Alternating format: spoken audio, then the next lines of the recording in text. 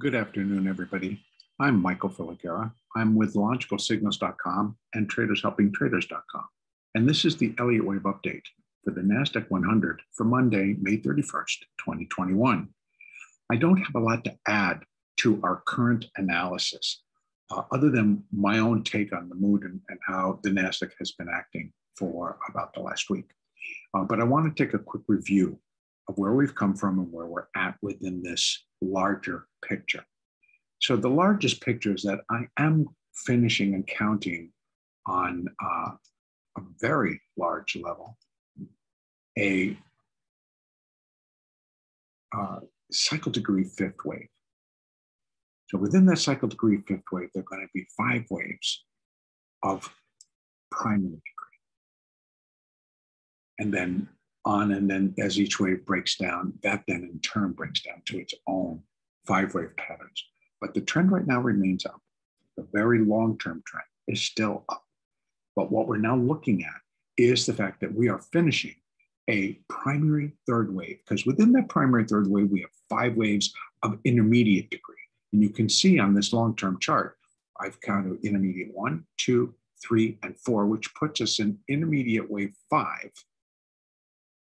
of primary wave three.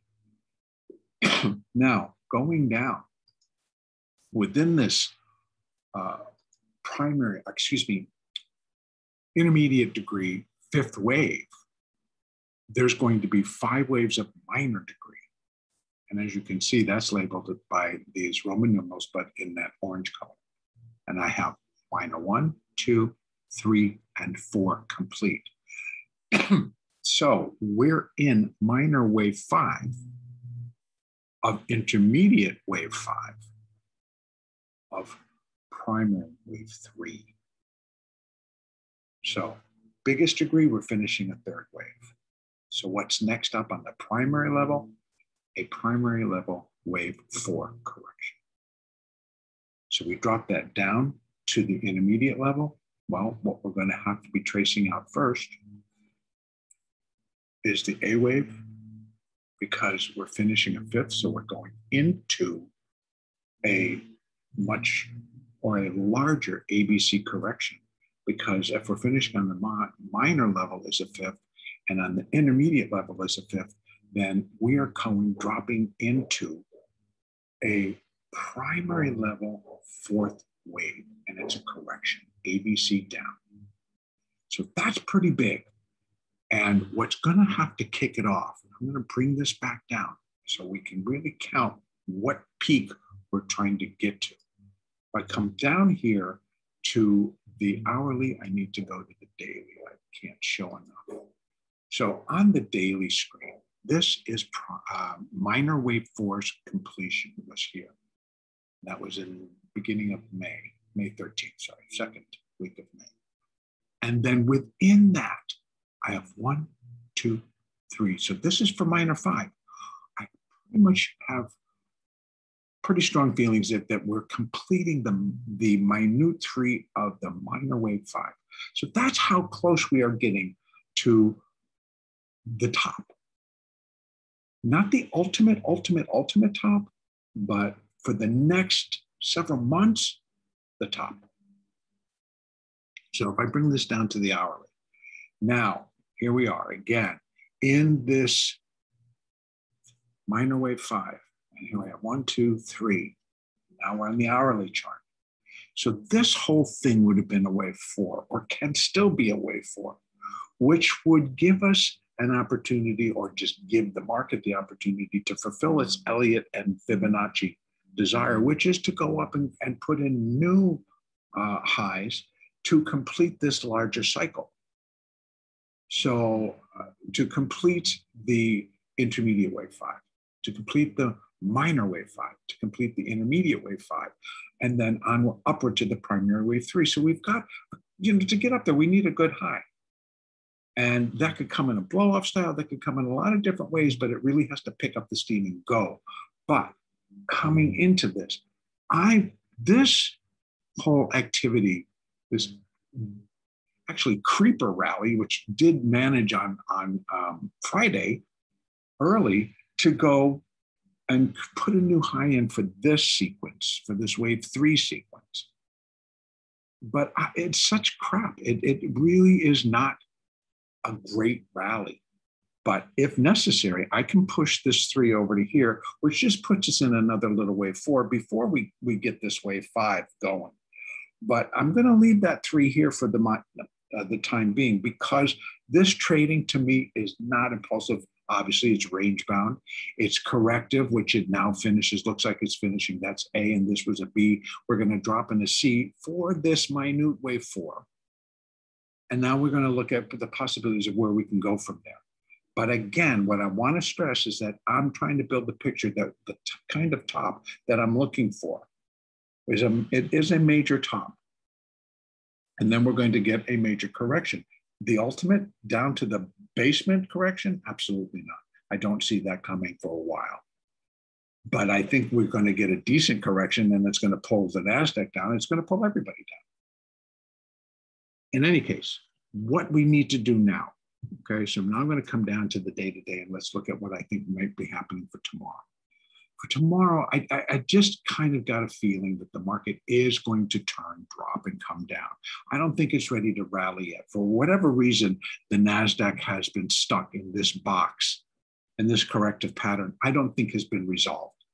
I don't really know what that reason could be because we can choose from several different areas, but it's stuck right here. And it's been that way. So we have to let the market resolve that and then tell us. But I think in the meantime, you're going to start to get people a little bit nervous. You're going to make position changes. We have the, the next June starting, all kinds of blah, blah, blah. But if we continue to move lower, we're doing so in a C wave down. Remember, C waves are related to the A wave in terms of intensity and where they can go, what's the most common, where are the relationships, and how do they play. For using Fibonacci relationships, the most common for a C wave as it relates to wave A is that it will be equal in length. That puts us at 13,631. This C wave should really get below that 13,606.75 before it's complete. So 13,631.43 just doesn't cut it. Well, it could, but I don't really think so. But I think because of all this boxiness in here, it's going to get down there, maybe hang out. But I think ultimately, this is the zone that comes into play. The 0.1236, and then we have point 1.382 and then 1.618 times the length of wave A. So wave C would be 1.236 times the length of wave A at 13,600, and that's what I'm going to call it, a little above, a little below. And that fulfills the destiny of creating the new low below wave A at a minimum, but still that fulfills that little bit of the requirement for what we're looking for. And then right below that, we do have the 200 day moving average, and that's going to provide some support, but a break there could drive it down to the next. I mean, this is 382, that could fit, but that's pretty much in line with only that the 200 day moving average basically holds because it could drop another 100 down to uh, 13,578 ish, 80 down to 75. That's the zone for 1.382. The second most common, though, is 1.618. And that's coming in at 13,550. And it would be a quick trip. So I'm not talking it just meanders around and then drifts and drops and drops and drops. I'm talking about it goes because there's going to be intent. The sellers are looking that someone's liquidating, someone's getting out. Whatever the situation is, it has purpose. Somebody's exiting, and or many are exiting. So in that case, I'd be looking for the acceleration to the downside, if indeed it was a C wave to come down. What's going to nullify all that if it just stays in the box? Then there's just this whole move. And eventually it should. It's got to resolve itself strongly. And that's why I think the down move now coming in is going to be strong enough to put that convincing move in. If it really starts to go up, it has to do it in the same fashion I'm thinking it's going to go down. Then it's got to go up and it starts to go into the zones, first of all, above 13,765 but it really needs to start heading, folks, back up above 14,000. If these other two markets are heading for new highs, the NASDAQ definitely was going to participate at some level, but it needs to get above 14,064. That's the all time high right now. We're kind of, we get up in the hood, but it's got to put in the three, 400, 500 point rally. And and 500 points would really be stretching it. I've seen it. We all have seen it, but more likely 300, but it's got to do that for a couple days. So we're going to need some optimism to come in here or something to flip all of this around. We've got too much going on politically. We've got the geopolitical fun- functions going in. We have uh, how we're going to factor in the oil and the big switch if the infrastructure packet, et cetera, et cetera. There's a lot of not known facts that are going to dictate direction. And so, till the market can really start to factor those in, this is what we get this little sideways motion. But if everyone can come to some form of like, oh, yeah, that's the answer, it could cause the rally. So I, I don't know what it will be, but I, that's what I think will fuel it. So I think you're going to come above you know, 14,074. We have resistance all the way up. Uh, but we've been looking for 14,200, 14,300 around in those levels to uh, be reached but it's running out of steam. So in other words, if we when this five waves is done, five waves are done. There's only so far I can extend out. There's only so much that you can do before that's done, and you got to go on to the next one. And so it would kind of shift the bigger picture back over to just a more shorter term negative. And that would take us back to where we're still within that uh, ABC correction for intermediate fourth wave correction down and still got this fifth wave up. But I don't feel it because we're not going in either direction right now. We're just hanging. So, and that fits more into this upside because it's hanging in the upper quadrants. It's hanging well above 13,000 and, um, and comfortable. So buyers are comfortable right here. So in any case, tomorrow, here's our, we have our working marching orders should the market start to go down. I intend to continue to use the short term charts. But even the short term charts, this is a, a 30 minute chart, you can see this activity. And this is going off of the 24th. You know, the highs that we reached on the 24th. And then that's where all of this started. And that, look at the 30 minute to think if that's going to be bullish. It's like, I don't think so. So the pattern itself, it's just the way that the market went. Does that mean that, that it can ignite and go up? Absolutely not.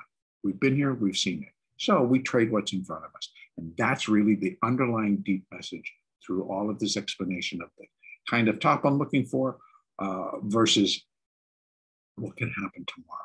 We have to continue to trade what's in front of us. And therefore, we're going to continue to use the moving averages.